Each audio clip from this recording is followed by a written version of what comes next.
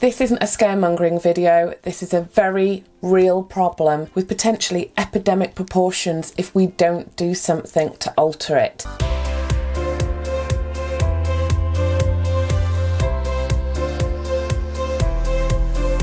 Now, I'm going to try and keep this information clear, concise, interesting, regardless whether or not you do your own nails at home, or you go to a salon, or you're a nail tech or beauty professional. I have got some really important information for you in this video, and I've taken it from some of the top sources and advice from the top sources in the industry. So please please do watch this. I cannot stress that enough because if something doesn't change soon, it could result in products actually being banned. And we're talking the products that we love and use every day if you're a professional. We need to stop that from happening. And the way to do it is to take action now. So, in the last week, the British Association of Dermatologists published a very damning and worrying press release. And it was with regards to nail allergies or allergies caused by nail products. What's worrying about this is how prevalent it really is, how many people are suffering, and people don't even realise that they're suffering. This is just the results of people that have gone to see dermatologists. So many of us don't even make it to dermatologists. So I'm just going to give you some quick fire facts about what the problem is, how it's affecting people like you and I, and what we need to do right now to stop it getting any worse. Because you don't know if you are just one set of nails away from a problem that's going to start that will affect you for the rest of your life. So I've made some notes. That's purely for the fact that I want to get these facts and figures right just to give them to you. There will be some coming up on the screen. This is just a tiny bit of the video to give you an idea of why I'm giving you the advice that I am. So this report stems from an audit of 13 UK and Irish dermatology units during 2017 and there were a total of 4,931 patients. Of those patients, Allergies were seen in 60% of them due to nail enhancements or nail products. That's really, really worrying. I approached people through my personal Facebook and through Twitter asking for any pictures that I could use to show you what varying stages of the allergies or reactions look like. I am going to show you these during the video. Some of them will be not very nice to look at because some are very, very advanced and severe. So I'm just going to give you that heads up now. Now, if you're wondering what I'm talking about, I'm going to put some images up on the screen now. So, just to give you a heads up, if you are a little more sensitive in your sort of demeanour with regards to things like this, you might not want to look at some of these because some of them are pretty shocking, to be honest with you. So, of that 60% of the people that had reactions down to nail products, 33% of the cases, that's a third, were due to sensitivities developed through their occupation. So, basically, what it means is these people have developed reactions because of their job, and the majority of them were nail techs. Now, this problem isn't just nail techs, as I'll show you in some of the images that I've got. It includes people that do their nails at home, it includes people that go to nail techs, it includes people that go to non standard salons, which is a salon that doesn't abide by the correct guidelines of what is safe practice, safe products, professional practice, things like that. Now, these pictures are from a range of nail techs of their own fingers. It's from nail techs of clients that have come to them from other places, and it's from people who've done their nails at home as well. That is what can happen. And it's not like a, oh, it won't happen to me. It can happen to everyone, and it's happening to some amazing nail techs in this industry. And I'm seeing their pictures online a lot, and I'd seen these coming before this report was released. So, what this video about is going to be very positive. I'm going to give you the top things that tend to cause issues with regards to starting with allergies and how to avoid them because some of you won't even realize that what you have is an allergy. You'll think it's problems with your skin or dry skin and things like that, and you need to get on these things fast. The best thing you can do is avoid them starting. Of the pictures I've shown you of the nail techs I've spoken to who've developed reactions, every single one of them, every single one bar one, and that was Carol, didn't wear gloves when doing nail procedures on people or nail services. So they only started wearing gloves once a problem had occurred. By that point, your body's already started and developed a reaction to a product. So all you're going to be doing then is trying to fight the fire. It's better to prevent the fire starting in the first place. There are things you can look out for when you go to a nail tech or when you do things yourself at home. And as a nail tech, things you can do to avoid this becoming an issue. And they're really simple. A lot of education still doesn't teach this, and I think with this report coming out, that will start to change. I certainly hope it will because this is literally career ending for lots of people. There's a picture that I'm going to show you that's going to come up in the screen in a moment. It is life changing because sometimes it can be one bad appointment affects a person's nails for the rest of their life. And I'm putting the pictures on the screen now. This poor lady had one set of acrylics that were only on her nails for 24 hours 13 years ago, and this is how her nails still look now. And this is what we need to avoid. And I do want to see how big an issue this is worldwide. If you've had any problems with regards to nail products that you've used at home or at a salon, can you please leave me a comment down below in the comment section letting me know what service it was you had on your nails done, what the impact was, how did it start to affect you, how long did it take, and whether or not you're a professional, you went to a nail salon, or you did them yourself at home, because I am going to be taking these figures back and giving them to some people that are trying to make a difference in the industry. Personally, I think the reason the problem has got so big is because nails are such a big thing now. You know, they're on the catwalk, they're in magazines. We all love to have nice nails. The nail industry has boomed, which is fantastic for people like me because I love it. However, with that, the rise in allergies has absolutely gone through the roof as well. So, this first bit I'm going to cover now is going to be directed targeted mainly at nail techs, but also at clients. It's something to watch out for when you go for a service. And if you look out for these things and try to avoid them, it will help you to protect your hands and your nails and prevent you too developing an allergy. So when you actually are having something like acrylic nails, now acrylic, the official term for it is liquid and powder. And that's because you have a brush that's dipped in a monomer, which is the liquid, and then it goes into a polymer, which is the powder. So you have a liquid brush dipped into a powder, it becomes a little ball that's popped onto the nail, and they pat it around, push it into place and shape it, and then it's filed afterwards. A huge problem, and I have seen this on a lot of videos, I do think it depends on who you're trained with and things like that whether or not it's deemed as acceptable. But this is reported to be a big cause in the rise of allergies is when people are doing these nails and the brush with the liquid on it and the product on it is not just being applied to your nail, it's actually touching the skin and the living tissue around the nail, on the finger. And depending on your body, you could get a reaction after the first appointment. You could get a reaction after three months. One nail tech was newly qualified, had only been doing the job three months before she developed a reaction that she is still left with now whenever she uses the products. However, it can, like some others I know,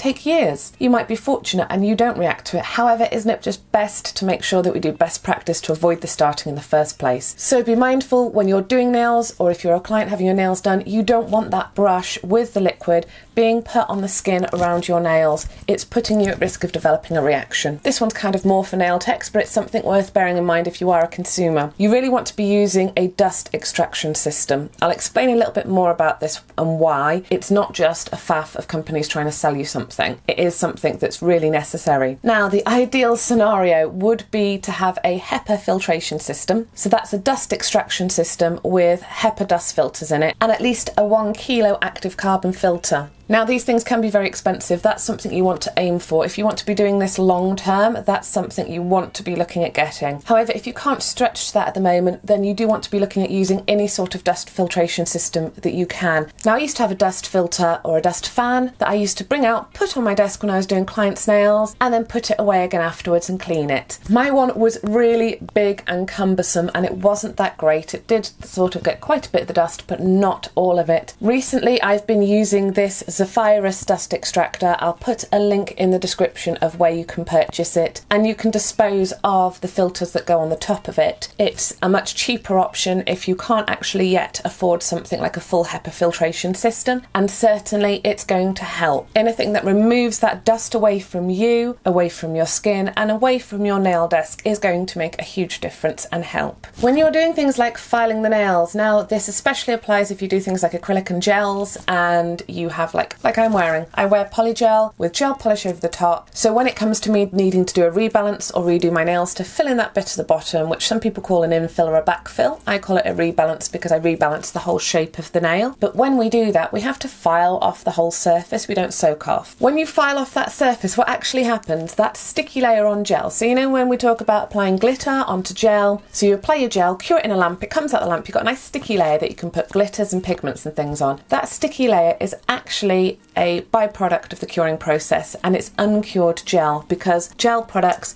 cure from the inside out when they're curing in the lamps. So what happens is when it cures from the inside out, the hard bit of cured gel is there and it has this sticky layer which is leftover product. That isn't a problem so much if you're applying glitter on it, encapsulating the whole lot in top coat. When it comes to actually filing off those nails, however, that dust will contain uncured gel and that makes you more prone to reaction. You need to make sure that you're clearing that dust away. And I don't mean just like at the end of a service, I mean as soon as you've finished filing. What we see a lot in the industry is not just reactions in hands, even people that wear gloves end up developing reactions all down their arms because you have this dust left over from rebalancing or infilling the nails. You put your arms down on the desk when you continue painting, and then you're getting this dust stuck to your arms. The effects of that can build up and can result in an allergy and skin problems and dermatitis and all sorts of things like that. So ideally you'll be using a dust filtration system as soon as you've done that. If it's a removable one, I'd take it away from the desk. If it isn't, it's fine, it's incorporated in. But what I would do as soon as you finish filing those nails is wipe your desk clean of any of the dust so you can continue the service without having to put your arms or the client's hands in that dust. Now, if you're starting out, I'm going to say ideally you want a dust extraction system.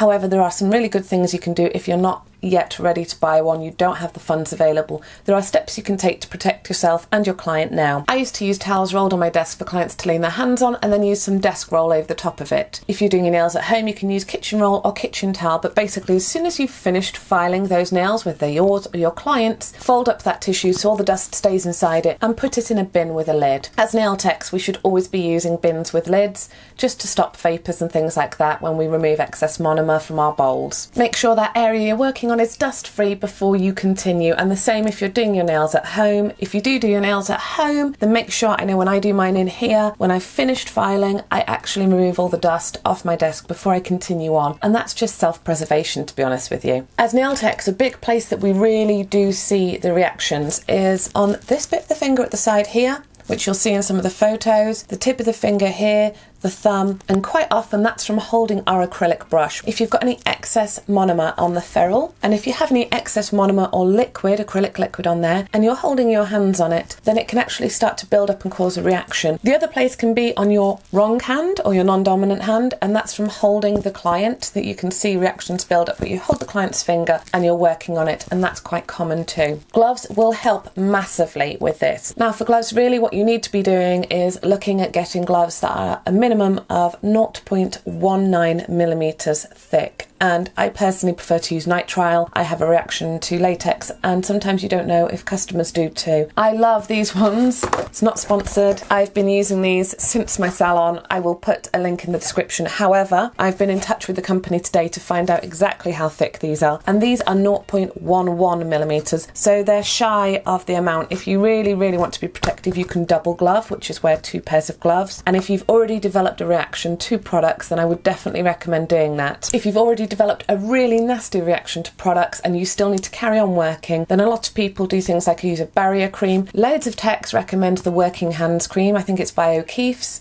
I'll put a link to that down in the description too. And then using something like bamboo gloves before they apply a set of nitrile gloves. Prevention is the key to stopping you developing something here. Sticking with that, another problem that tends to happen with clients is when we remove the sticky layer off the top of gel, or if you're doing this to yourself at home, you might get a pad with your isopropyl alcohol on, and you've got your finger and you're just there going wee. What you really, really want to be doing is getting that pad, and I love these plastic back pads. I love them so much. They aren't the cheapest, but you only need to use like three per person, so you really don't have to worry, and that's in like a full service. It curves around, it's got a plastic back on the back of it, so product can't seep through onto your fingers, and I literally just get around that cuticle area and wiggle it just back and forth as I pull off. I'm not taking that sticky layer left, I'm pushing it over the whole of the top of the skin because doing that day in, day out will cause problems. Now, obviously, for clients, more often than not, it can take them longer to develop a reaction than it can for techs because we are back to back with clients all day, so we're with this stuff constantly. But as a client, it's something you need to protect yourself against as well. A really big one that you tend to see with a lot of people, especially when they start out or in, in a hurry and things like that, is if you're applying gel polish or acrylic and it goes over the edge of the nail and onto the skin, people get their own fingernail and just wipe it away because then it looks neat. However, you're left with uncured product on that skin and on the other nail. And if that's not removed, then you quite often see that people start with reactions on the underside of the nail. And this bit where your nail sticks and has sometimes a bit tender bit of skin, that's called your hyponychium. So at the end of a service on a client, or if you're doing your own nails, make sure you clean off any dust from the underside of your nails or any excess product like that with a nail brush. Or you can even give it a wipe underneath. You want to make sure that you've got no product left under those nails because someone might wash their hands and there's still something left there if they haven't got a nail brush and scrub it and they're going away for hours in the day until they have a shower or bath, and that's just building up. And that's why we tend to see a lot of problems like that tend to start here first and then spread. Most of these problems do come from uncured product. So when I say uncured product, I mean acrylic that's not fully set. And please bear in mind that some acrylic brands actually do take up to 48 hours to fully completely set. So they look completely set when you leave the salon, they feel like they're fine, but to fully harden and set, it can take up to 48 hours. With gel polish products, it only has to be 50% cured to feel hard and look cured, but it's not fully cured. It's really, really important that you use the right lamp for your gel polish. Now, I'm not afraid to admit in a bygone time that I've thought it has been a marketing ploy by some brands to make you use their entire system. However, normally big brands are very good at protecting themselves by making sure that their products cure in their lamps. They've looked at it, they've trialed it. Some of the really big companies have their own research and development labs or they pay to outsource to make sure that the lamps are curing their product. No one lamp fits all. It's down to wavelength of the UV or LED light, it's down to the brilliance and intensity of the LED and UV light, and it's down to, and prepare yourself, this is getting a bit geeky now, it's down to something called the photo initiators that are in the gel polish. Now, every brand of gel polish and quite often different colours within that brand will have a different amount of photo initiators, and photo initiators are the things that react to the light to make the gel polish set. Like I said, a gel polish only has to be cured by 50% to look and feel cured. So you've got this great lamp, you've got a load of different brands of gel polish, you try it out, and unless you know the photo initiators, the wavelength, the brilliance, the intensity, you won't actually know if it's definitely curing, and so that can cause major issues as well. If you do get any product on the skin, and I always check before I put my hand in the lamp, or if I'm doing my friend's nails before I put their hand in the lamp, I always make sure that none of that product has seeped down into the side walls or those lateral folds. If it has, take a brush, and I always say this take a brush dipped in nail polish remover or acetone and clean up those side walls. It's not just for the way it looks, it's to prevent reactions. Don't use a fingernail. And really, I don't even find an orange wood stick very good for these sort of things. You want a brush where you can really get it out and make sure it's clean. If you do do your own nails at home, make sure that you understand exactly how you're supposed to use that product. Read the instructions, understand what you're doing, keep that product off the skin, and use the recommended lamp with the product if you need to use one. If you're doing acrylic nails, keep that brush clean so that the liquid is only on the actual bristles of the brush or the nib of the brush. And make sure that when it comes to getting rid of any unused monomer or liquid, that you soak it up with a like some tissue or some kitchen roll and it goes into a bin with a closed lid and make sure you don't have any on your hands, give your hands a wash afterwards as well.